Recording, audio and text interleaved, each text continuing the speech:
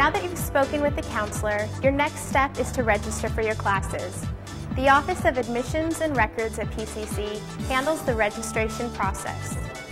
Have your permit to register available before you register.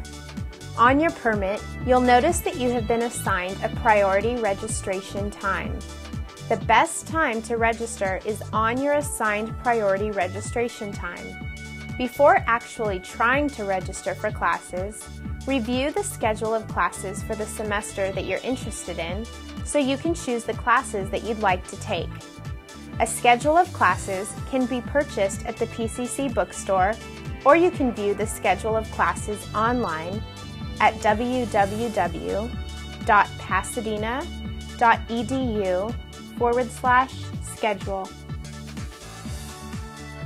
In the schedule of classes, you will notice there's a worksheet titled Things to Do Before Registering. You'll really want to read this. To register for your classes, you'll need the four digit section code, and you'll find that code in your schedule of classes. There are three ways you can register online at the PCC website, by phone, or in person. I'll be taking you through the web registration process because it's the easiest way to register. Earlier, we had mentioned that you would receive a permit to register after you've been admitted to PCC. You'll need this now. Your four digit PIN number is the month and day of your birthday at first, but you can change your PIN later if you like. Let's get started.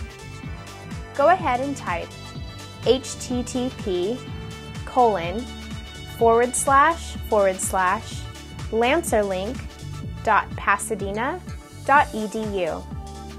Now, follow each of the steps in the registration process. Pay close attention to when your tuition and fee payments are due because you don't want to be dropped from your classes. Finally, print your enrollment fee receipt. Please keep your enrollment fee receipt for the term as it's proof of your enrollment List your current class schedule, network ID, PCC email address, and payment information.